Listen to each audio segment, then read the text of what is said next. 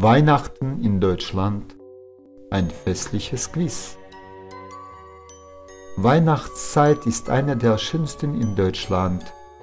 Die Städte werden schön beleuchtet und dekoriert.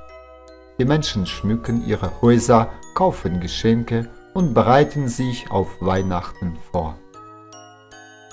Wie feiern die Deutschen ihre Feste? Welche Traditionen und Bräuche gibt es? Wie gut kennt ihr Weihnachtsgeschichte über die Geburt von Jesus. Heute könnt ihr eure Kenntnisse prüfen. In diesem Videoquiz stehen 18 Fragen über eines der wichtigsten Feste in Deutschland, über Weihnachten. Testet euer Wissen. Starten wir.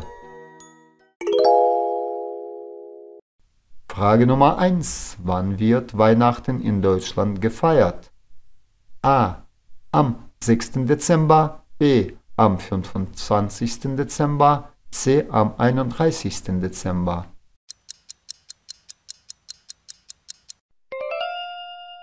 Die richtige Antwort ist B.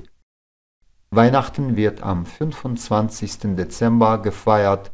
In Deutschland ist es ein gesetzlicher Feiertag. Frage Nummer 2. Was bedeutet eigentlich das Wort Weihnachten? A. In den heiligen Nächten. B. In den kalten Nächten. C. In den stillen Nächten.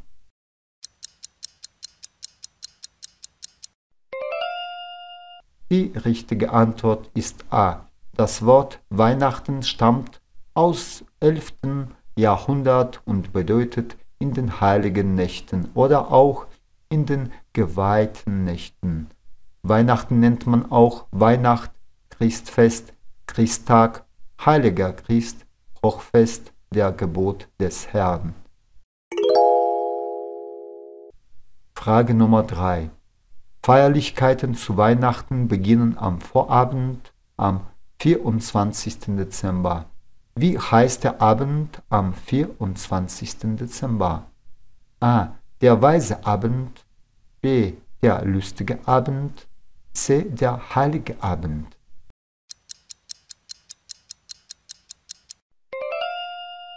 Die richtige Antwort ist C. Der Abend am 24. Dezember nennt man der heilige Abend. Er wird auch Heiligabend oder Weihnachtsabend genannt.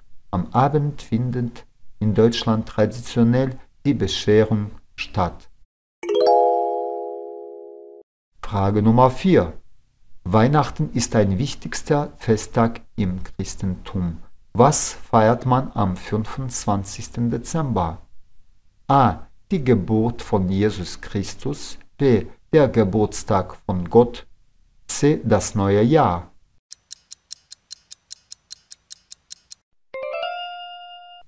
Die richtige Antwort ist A. Seit Anfang des 4. Jahrhunderts feiern die Christen am 25. Dezember die Geburt Jesus. Frage Nummer 5. Nach einer biblischen Weihnachtsgeschichte wurde Jesus in einer israelischen Stadt geboren. In welcher? A. Bethlehem, B. Nazareth, C. Jerusalem.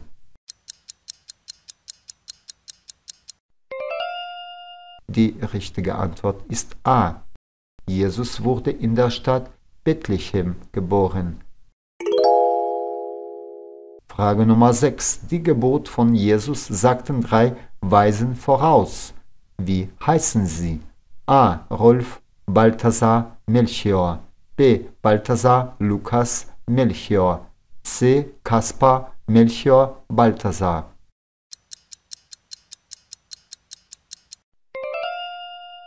Die richtige Antwort ist C. Diese Weisen heißen Kaspar, Melchior und Balthasar. Sie nennt man auch die heiligen drei Könige. Frage Nummer 7. Wem verkündete ein Engel die frohe Botschaft der Geburt Jesus? A. Den Königen, B. Den Hirten, C. Den Stadtbewohnern.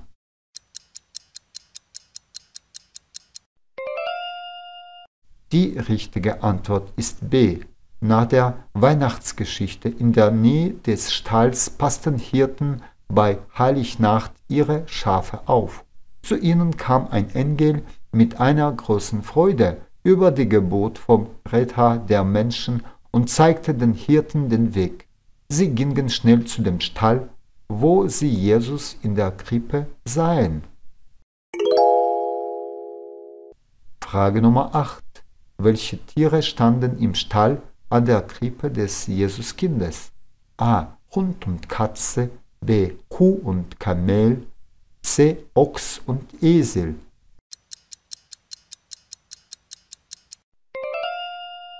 Die richtige Antwort ist C. Im Stall an der Krippe des Jesuskindes stellt man immer einen Ochsen und einen Esel dar. Nach traditionellem christlichem Verständnis repräsentieren diese Tiere zwei Glaubensrichtungen. Der Esel die Heiden, der Ochse die Juden. Manchmal in einer Weihnachtskrippe können auch andere Tiere stehen, Schafe und ein Hund, die mit Hirten in den Stall gekommen sind. Ein Kamel, ein Pferd und ein Elefant sind als Transportmittel für die heiligen drei Könige. Frage Nummer 9. Wie nennen die Deutschen die Zeit vom 1. bis 24. Dezember? A. Moment. B. Advent C. Argument.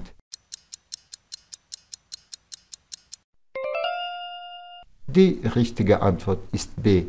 Die Zeit vom 1. bis 24. Dezember nennen die Deutschen Advent. Der Advent ist die Zeit der Vorbereitung auf Weihnachten. Er dauert vier Wochen und hat immer vier Sonntage. Die Adventszeit endet an Heiligabend, also am 24. Dezember. Frage Nummer 10. Womit zählen die Deutschen die Tage bis Weihnachten? A. Mit einem Adventskalender, B. Mit einer Adventsuhr, C. Mit Fingern.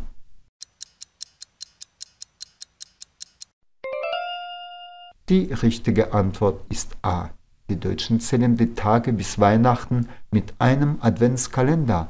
Traditionell hat er 24 Türchen, wo kleine Geschenke für Kinder liegen. Heute ist aber der Kalender in verschiedenen Formen und Ausprägungen verbreitet. Und heute ist das ein wichtiges Weihnachtssymbol in Deutschland. Frage Nummer 11. Der Adventskranz mit Kerzen ist ein Weihnachtssymbol. Wie viele Kerzen hat er? A. 2, B 4, C 6.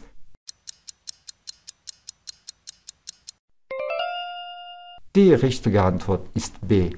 Ein Adventskranz hat vier Kerzen. Die Kerzen am Adventskranz symbolisieren vier Wochen, ab Adventsbeginn bis zum heiligen Abend. Eine Kerze zündet man am ersten Sonntag, dann zweite, am zweiten Sonntag und so weiter.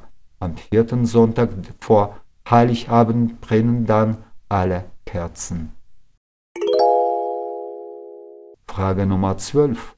Welches bekannte Weihnachtslied singen unsere deutschen Freunde? A. O Tannenbaum. B. O Weihnachten. C. O Advent.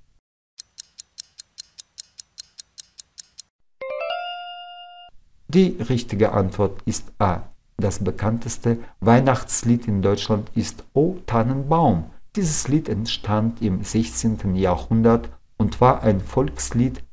Im 19. Jahrhundert wurde der Text von August Zahnack und die Musik von Ernst Anschütz verarbeitet und heute ist O Tannenbaum das beliebteste Weihnachtslied. Frage Nummer 13. Wie heißt eine bekannte Weihnachtsblume? A. Weihnachtsveilchen, B. Weihnachtstulpe, C. Weihnachtsstern.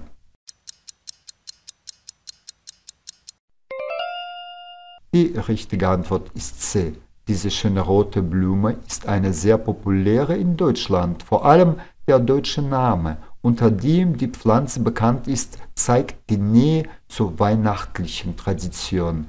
In religiösen Kreisen repräsentiert der Weihnachtsstern auch den Stern von Bethlehem, wobei die roten Blätter für das Blut von Jesus stehen. Der Weihnachtsstern symbolisiert Liebe, Hoffnung und Wohlwollen in der Weihnachtszeit. Die Deutschen schenken gern diese Blume zum Nikolaustag, zu Weihnachten oder an Heiligabend. Frage Nummer 14. Wer bringt die Geschenke zum Weihnachten in Deutschland? A. Jesus Christus und Engel. B. Das Christkind und der Weihnachtsmann. C. Ded Moroz und Snegurочка.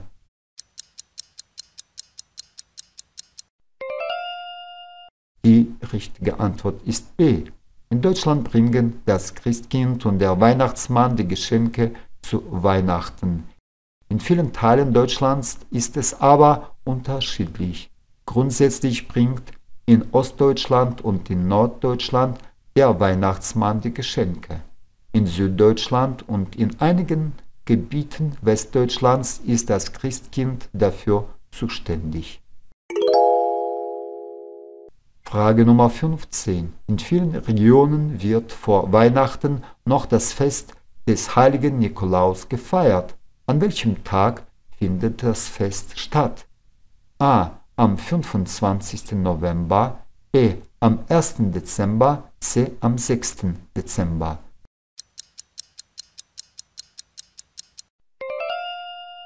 Die richtige Antwort ist C. Den Nikolaustag feiert man am 6. Dezember. Nikolaus war eine geschichtliche Person. Er wurde ein Bischof von Myra, eine Region in der heutigen Türkei, und lebte dort circa in Jahren 270 und 365. Der 6. Dezember ist sein Todes- und Gedenktag. Frage Nummer 16. Der heilige Nikolaus bringt den braven Kindern kleine Geschenke. Wohin legt er sie? A. Unter den Tannenbaum, B. In die Schuhe. C. Unter das Bett.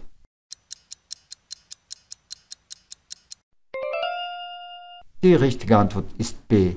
Am Abend am 5. Dezember stellen die Kinder ihre gründlich geputzten Schuhe vor die Tür oder zum Fenster. Sie glauben, dass der gute heilige Nikolaus ein kleines Geschenk oder Süßigkeiten, Nüsse, Äpfel oder Mandarinen, Münzen und das Geld in die vorbereiteten Schuhe lässt. Frage Nummer 17. Was schmücken viele deutsche Familien zur Weihnachtszeit? A. Einen Tannenbaum, B. Eine Buche, C. Einen Kaktus.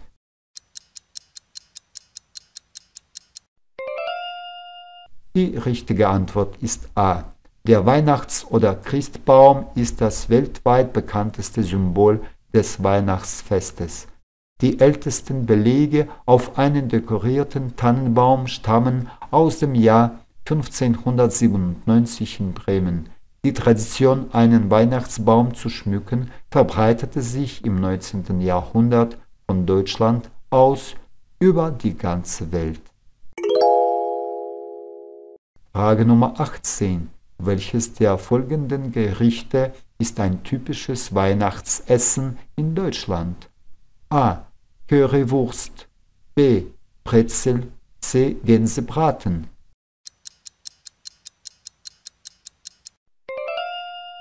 Die richtige Antwort ist C. Die Weihnachtsgans ist ein Festtagsessen, das im deutschsprachigen Raum traditionell zu Weihnachten serviert wird. Meist wird die Gans mit Äpfeln, Kastanien, Zwiebeln oder Trockenpflaumen gefüllt. Traditionelle Beilagen sind Rotkohl, Klöße und eine gebundene Soße aus dem Bratensaft. Weihnachten ist in Deutschland das wichtigste Fest des Jahres mit eigentlichen und schönen Traditionen. Die Deutschen beachten diese Traditionen, bereiten sich im Voraus auf Weihnachten vor und feiern dieses schöne Fest in den Familienkreisen. Denn Weihnachten ist das Fest der Liebe und Freude. fröhliche Weihnachten.